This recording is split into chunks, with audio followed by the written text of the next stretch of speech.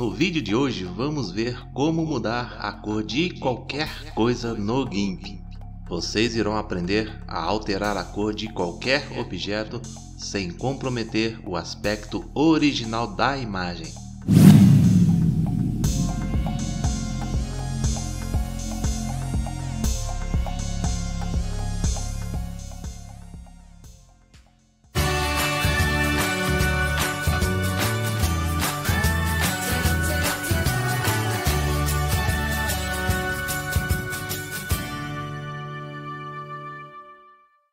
Aí pessoal, no vídeo de hoje vou responder ao comentário do César Ferraz que perguntou o seguinte: Será que esse método não funciona para a cor preta? O método que o César está se referindo é o do vídeo Como Recolorir Fotos, que foi publicado aqui no canal e se você não assistiu, vou deixar o link aqui na descrição. Temos também a pergunta do Leonardo como pintar alguma coisa que esteja na cor preta. Tipo, pegar um objeto na cor preta e pintá-lo de branco. Quando tento fazer isso no GIMP, nada ocorre. É uma pergunta bastante intrigante, mas antes da gente prosseguir, convido vocês a darem uma olhadinha nessas fotos.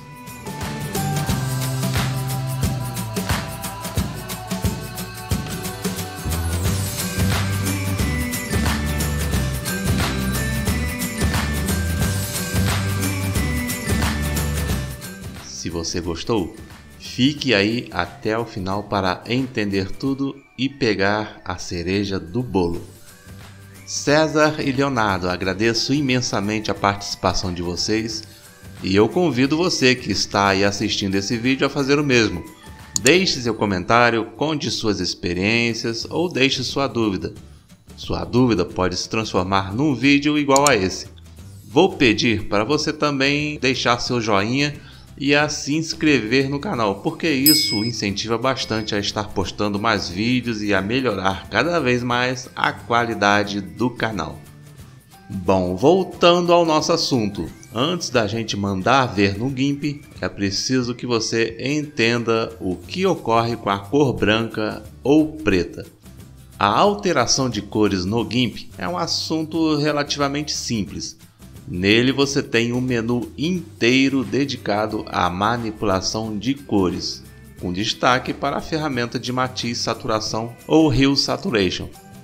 Porém, quando o assunto é mexer em objetos pretos ou brancos, misteriosamente a coisa muda de figura e o resultado tende a ser igual ao que o Leonardo escreveu. Nada ocorre.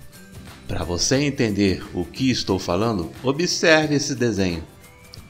A gente tem uma garotinha segurando alguns balões, tem um cãozinho sentado, lá no fundo tem dois ciclistas, algumas montanhas e um céu formado por faixas coloridas. Se eu abrir o controle de Hue Saturation, que é a ferramenta clássica para alteração de cor, e mover o ajuste de matiz de um lado para o outro, perceba que a parte onde está o céu vai alternando as cores sem nenhum problema, mas a área branca, cinza e preta não acontece absolutamente nada. Como explicar isso? O que ocorre é que o preto e o branco, tecnicamente, não são cores. Para você entender, é preciso ter em mente que todas as cores dependem da luz. Sem luz não existe cor. Quando olhamos para a cor branca, estamos olhando para uma mistura de iluminação vermelha, verde e azul. Essas três cores formam a base do sistema RGB, que é responsável por formar todas as cores que você conhece. Portanto, o que enxergamos como preto ou branco não são exatamente cores, mas sim níveis de luz. O preto é obtido pela ausência total de luz e o branco pela emissão total de luz. Já os diferentes tons de cinza nada mais são do que valores intermediários de luz. Uma foto exibida num software de edição como o GIMP obedece esse mesmo conceito para formar suas cores. Por isso, se a sua intenção é manipular cor branca ou preta, o controle de matiz se torna inútil, porque para o GIMP não existe uma cor ali. O GIMP estará enxergando somente luz. Bom, então qual a solução? Para início de conversa, você terá que separar o que é matiz, o que é saturação e o que é luminosidade. Você vai precisar lidar com cada uma dessas propriedades de maneira separada e seguindo essa sequência: matiz, saturação e luminosidade. Matiz nada mais é do que a cor propriamente dita. É o tom de cor que você pretende manipular. Até aí não tem mistério. Se você quer simplesmente trocar a cor que já existe em um objeto por outra cor, basta mexer no controle de matiz e problema resolvido. Mas se o negócio é mexer em cor branca ou preta, você também terá que dar uma atenção especial para a saturação e a luminosidade. Saturação é a intensidade da cor presente numa foto. Quanto maior for o valor de saturação, mais intensa será a cor, e quanto menor o valor, menor será a intensidade de cor, assumindo um aspecto cada vez mais acinzentado até chegar a uma tonalidade completamente cinza. Já a luminosidade é o valor tonal da cor. A cor pode variar em níveis de tonalidades, indo para o mais claro ou mais escuro, Acho que por aí já dá para você sacar o que a gente pretende fazer, né? Se tudo isso estiver parecendo complicado, pense num quadro exposto numa sala sem iluminação. É claro que você não vai conseguir enxergar a imagem desse quadro. Você precisa aumentar a intensidade de luz para poder ver a imagem do quadro. Agora, pense nesse mesmo quadro exposto sob uma luz tão intensa, mas tão intensa que você também não consegue enxergá-lo. O que você precisa fazer?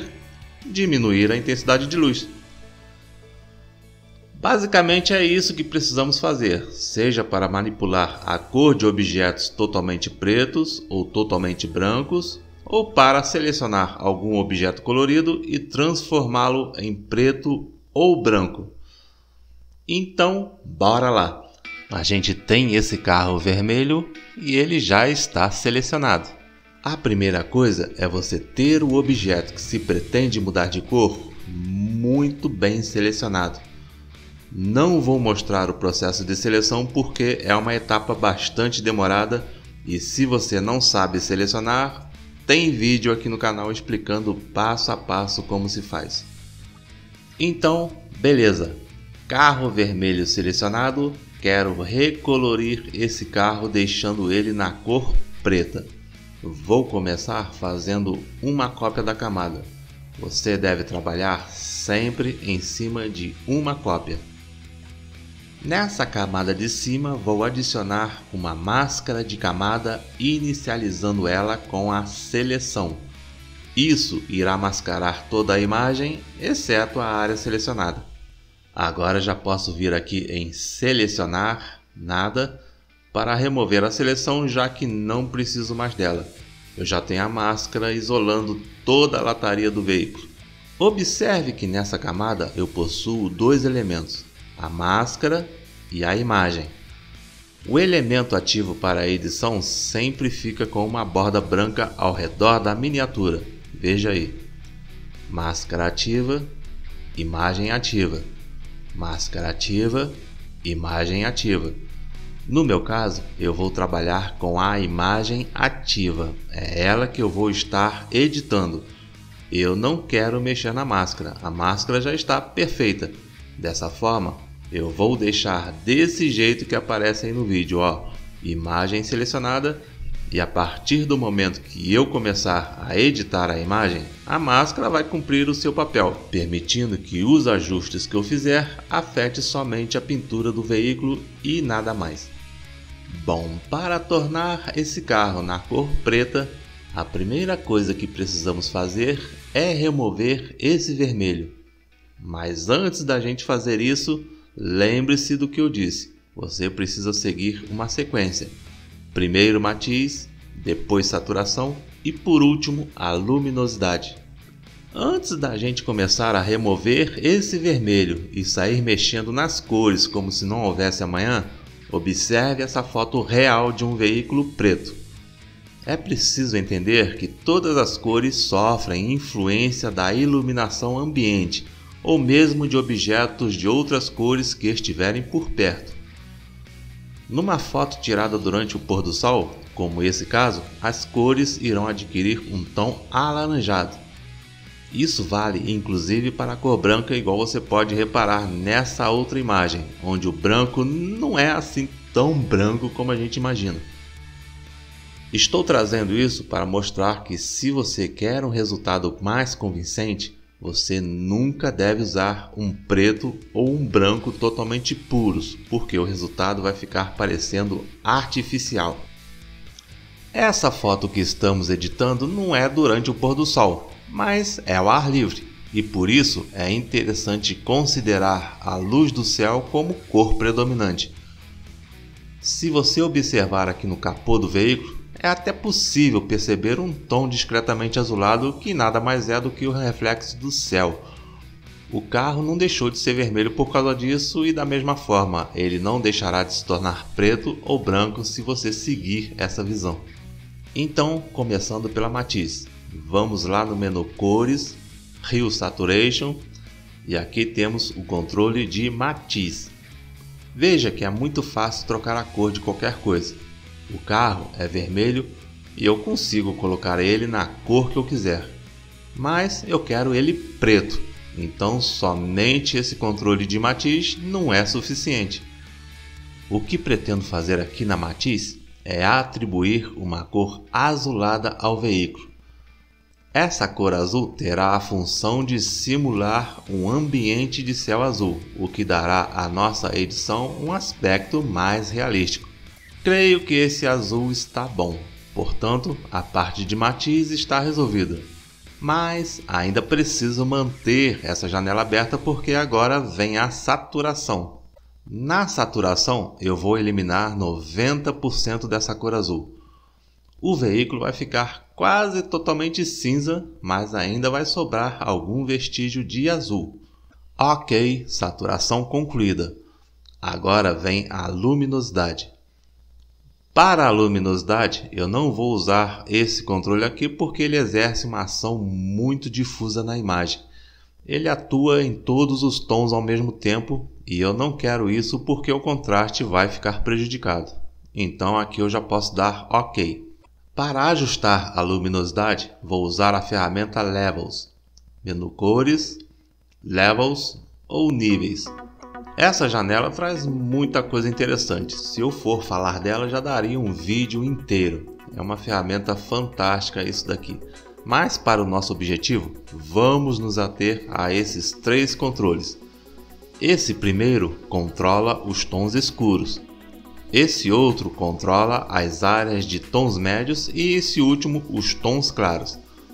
Aqui não existe uma receita pronta, cada foto vai apresentar uma condição diferente e o negócio é ir fazendo ajustes até chegar a um resultado satisfatório.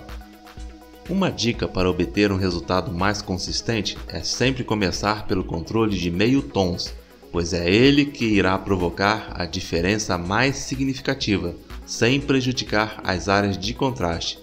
Observe aí, eu vou pegar o controle de meio tons e deslocá-lo lentamente para o lado direito, cobrindo os tons mais claros e repare que só isso já provoca um escurecimento bastante realista na pintura do veículo. Para acentuar levemente as áreas de contraste, vou deslocar só um pouquinho o controle de tons escuros, coisa mínima, só para dar uma leve realçada nos detalhes. A gente também pode dar uma pequena acentuada nas áreas de brilho do carro.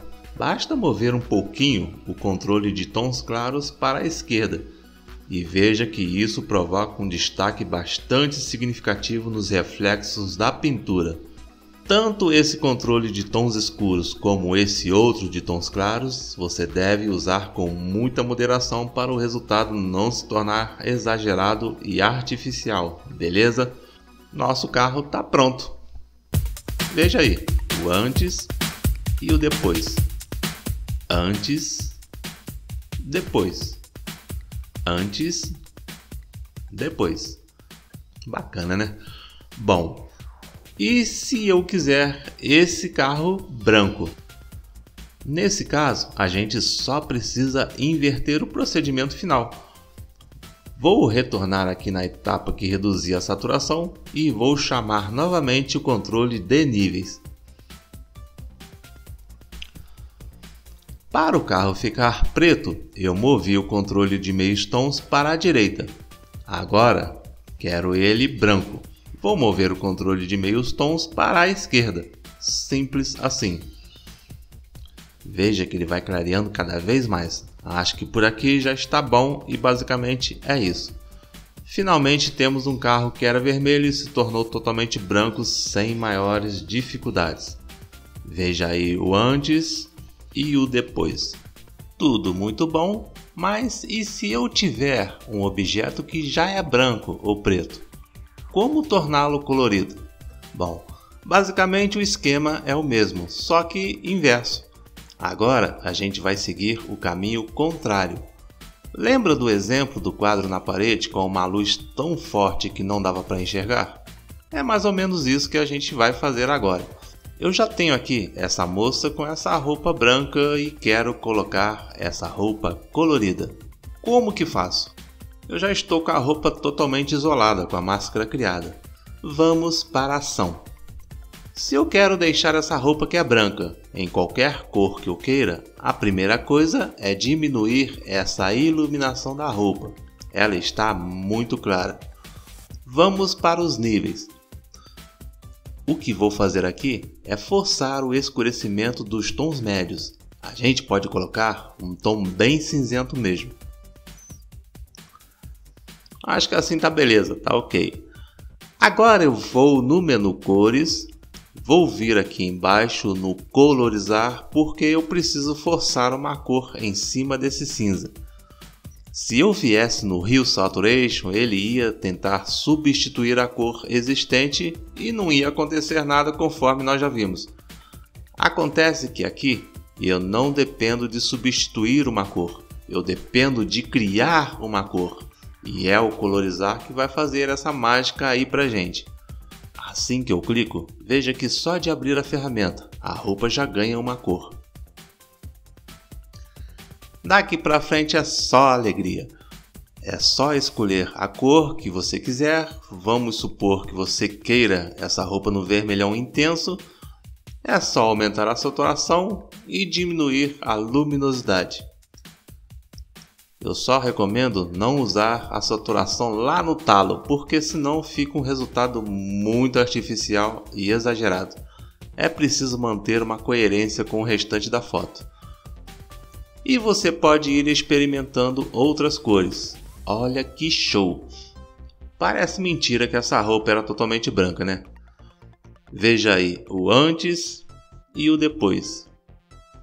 Antes, depois. Antes, depois. Da hora, né?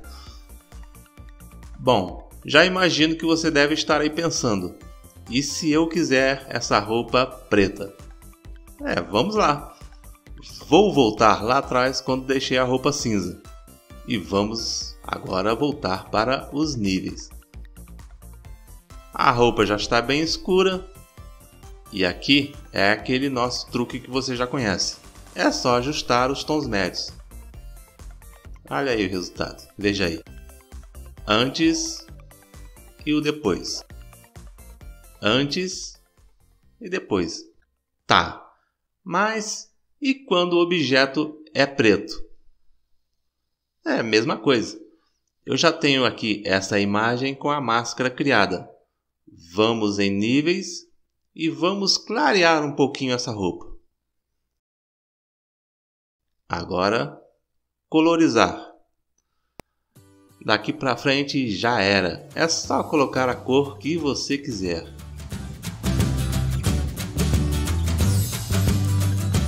Veja aí, o antes e o depois. Antes, depois. E se eu quiser essa roupa branca? Vamos lá. Vou retornar lá atrás quando deixei a roupa cinza. Níveis. Ajustar os tons médios. E aí está. Vamos ver o antes e o depois. Muito da hora, né? Muito da hora. Fala sério. Muito legal isso daqui. Bom, então é isso, pessoal. Espero que você tenha curtido esse vídeo e espero que ele seja muito útil para você. Eu vou ficando por aqui. Até o próximo vídeo. Fui. Tchau para vocês.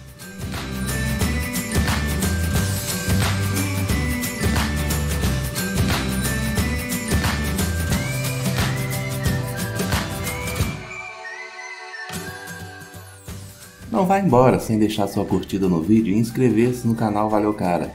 Assista também essas sugestões de vídeos.